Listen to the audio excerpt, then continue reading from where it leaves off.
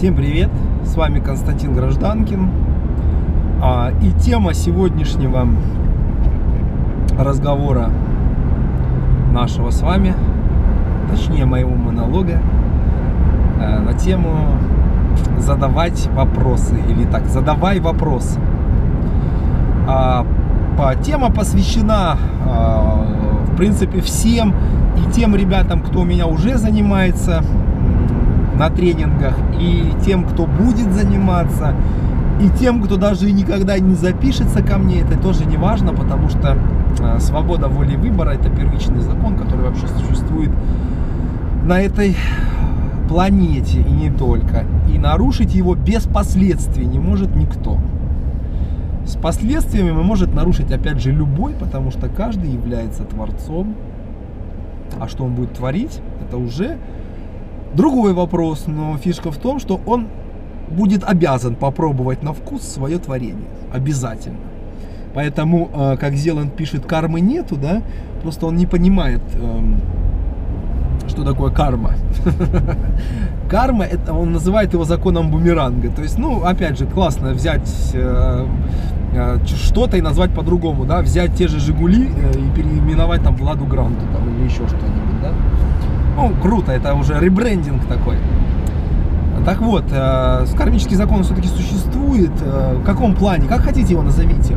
Смысл в том, что э, автору, э, автору э, произведенного значит, э, какого-то творчества, да, или отношения в сторону человека, или действия какого-то, придется попробовать свое творчество на вкус самому.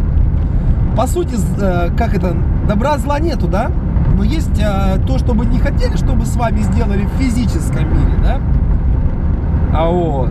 И то, что вы хотите сделать. И вот многие говорят, а могу я какую-то плохую вещь совершить? Я говорю, не знаю, что такое плохая вещь, но ты просто совершишь там что-то, ты можешь совершать это систематически. Просто ты будешь тоже обратно это потом получать. Ну, как бы не обязательно сразу, не обязательно в той форме, но будешь обязательно.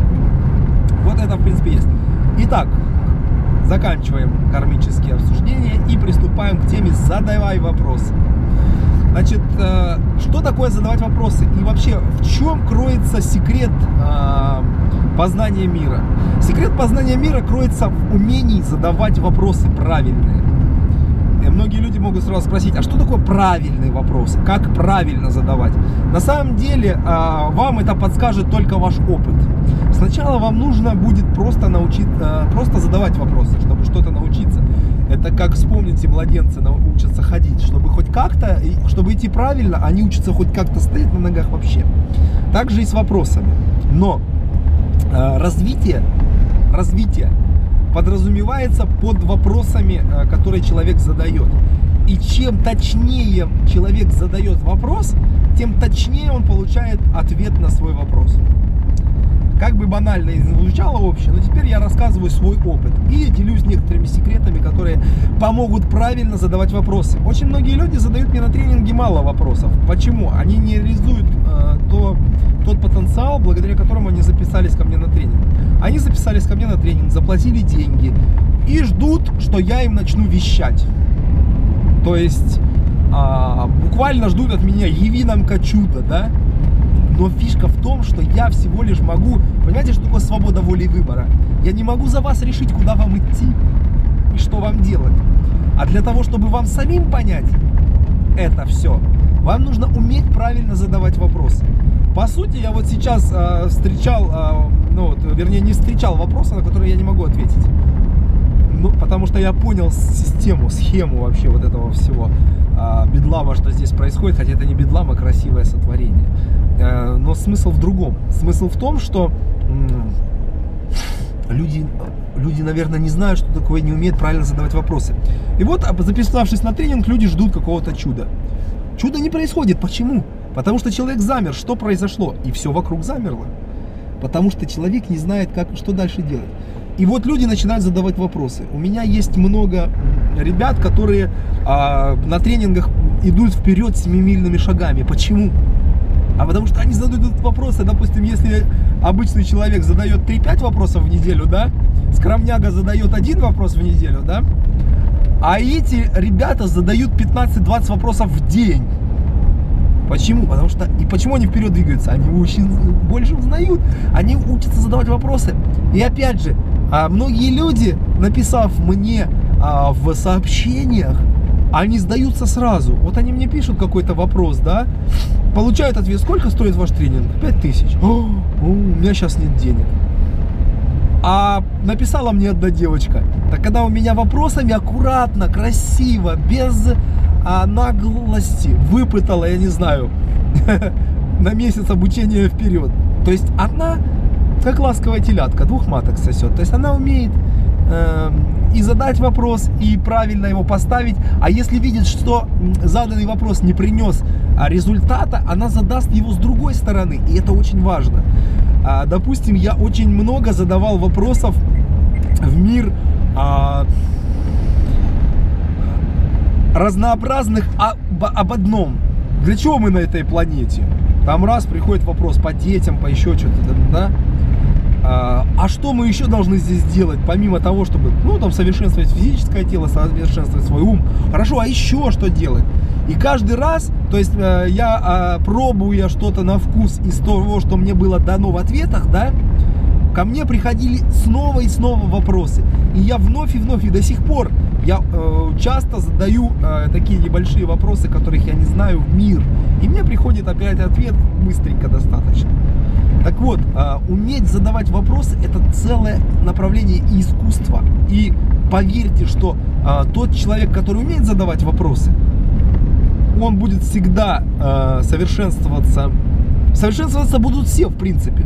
Потому что мир толкает однозначно. То, что вы называете проблемами, болезнями, стрессами на работе, а оно происходит с вами по одной простой причине, чтобы вы, выдавить э, вас за, рамки вашего, вашей зоны комфорта и показать, какой мир согласно вашим желаниям. Ну, допустим, вы мечтаете поехать в путешествие, а вас увольняют с работы, да?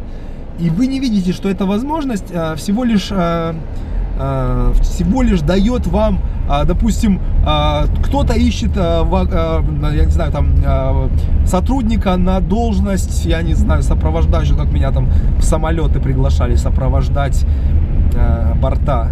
Так они там бывают за месяц по несколько десятков стран мира. Или а, допустим, вам а, уволили, чтобы вы а, организовали свое дело и путешествовали с этим делом где угодно. А вы воспринимаете это как проблему. Поэтому проблем-то нету, мир вас толкает. Но всегда нужно себе задавать вопрос. Себе, миру, всем. Всем нужно уметь задавать вопрос. А для чего это со мной произошло? А что это за собой может нести? И я, допустим, ни, ни, никогда не останавливаюсь на одном варианте. Допустим, почему меня уволили с работы? Ну, потому что, чтобы я мог себя реализовать в путешествии. Нет, я сразу ищу десятки, задаю вопросы в разных направлениях. И вы нахожу десятки ответов, почему э, у меня не получилось с той или иной работой. И был такой период, когда я там одно время отчаялся работать на себя и хотел устроиться в какое-то там место, я уже не помню и у меня никак не получалось, хотя мое резюме было совершенно, я как нельзя лучше подходил для этой работы. У меня было все, и высшее образование, и все, и все, все. А меня не брали. Знаете почему? По одной простой причине. Что когда это время прошло, я увидел, что если бы я ушел на ту работу, со мной бы не случилось тех хороших вещей, которые уже случились. И, э, скажем, я бы ни в себе не принадлежал. А на тот момент мне же так ну, казалось, как типа проблема, да? На самом деле это не проблема. И когда я научился выискивать со временем вопросы и ответы на них, э, все стало просто. Для меня нету проблем, для меня нету каких-то трудностей. А, все, что со мной происходит, происходит для чего-то. И когда я начинаю задавать вопрос «для чего?», мне обычно приходит ответ «для того, чтобы…» там и ответ. И чем больше, тем лучше, чем больше, тем лучше. В принципе, вот такое вот видео про э, умение задавать вопросы. И вам советую, практикуйте. Все. С вами был Константин Гражданкин. Всего доброго. Пока.